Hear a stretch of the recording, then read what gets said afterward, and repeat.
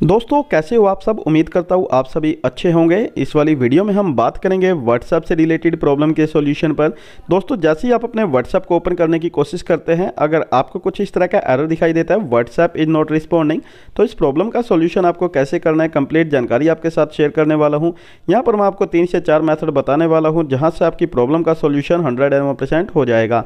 लेकिन वीडियो में आगे बढ़ने से पहले दोस्तों, अगर आप हमारे चैनल पर नए हैं तो प्लीज़ बेलाइकन को प्रेस कर लीजिए और हमारे चैनल को सब्सक्राइब कर दीजिए। तो चलिए दोस्तों, बढ़ते हैं वीडियो में आगे की तरफ़। दोस्तों, इस प्रॉब्लम को शॉर्ट आउट करने के लिए हम यहाँ से बिल्कुल बैक आ जाते हैं। आपको सबसे पहले स्टेप के अंदर अपने फ़ोन की सेटिंग को ओपन कर लेना है। उसके बाद आपको नीचे की तरफ़ स्क्रॉल करना है। यहाँ पर आपको ऐप्स वाला ऑप्शन ढूंढना है, इस पर क्लिक करना है।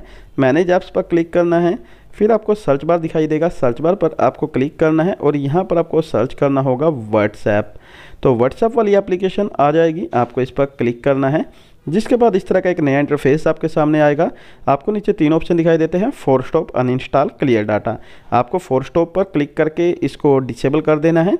उसके बाद आपको क्लियर डाटा पर क्लिक करना है। यहाँ से करना है इसका क्लियर कैच फिर आपको ऐप परमिशन पर क्लिक करना है और जितने भी ये परमिशन है, इन सभी को आपको कुछ बारी बारी से इस तरह से अलाउ करना है और फिर आपको यहाँ से बैक आ जाना है। बैक आने के बाद अब आपको अपने प्ले स्टोर को ओपन कर लेना है। दोस्तों, ऊपर आपको सर्च बार दिखाई देगा। आपको सर्च बार पर क्लिक करना है और यहाँ पर आपको सर्च कर देना है व्हाट्सएप व्हाट्सएप वाली एप्लीकेशन आपको यहाँ पर देखने को मिल जाएगी और आपको यहाँ पर ये चेक करना है कि आपको व्हाट्सएप पर इस तरह से कोई अपडेट देखने को मिलती है या नहीं।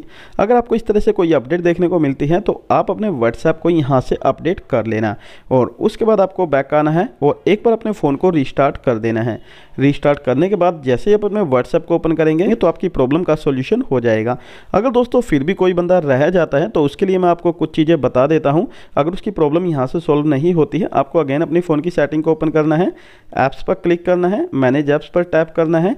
ऊपर आपको राइट साइड में थ्री डॉट्स देखने को मिलेगी, आपको इन पर क्लिक कर देना है। और यहाँ से आपको रीसेट ऐप रिफरेंस पर क्लिक करना और यहाँ से कर देना है रीसेट ऐप्स ये कर देने के बाद दोस्तों आपको अगेन व्हाट्सएप को ओपन करके चेक करना है।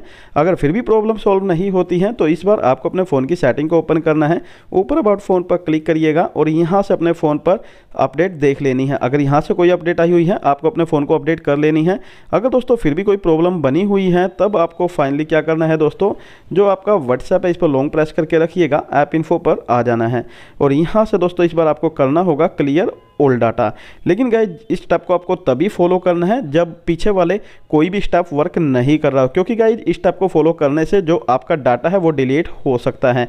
लेकिन गाइज़ आपको अपने व्हाट्सएप को दोबारा से रजिस्टर्ड भी करना पड़ेगा। तो दोस्तों यही एक मेथड बचता है जहाँ से आपकी प्रॉब्लम का सोल्यूशन होने वाला है।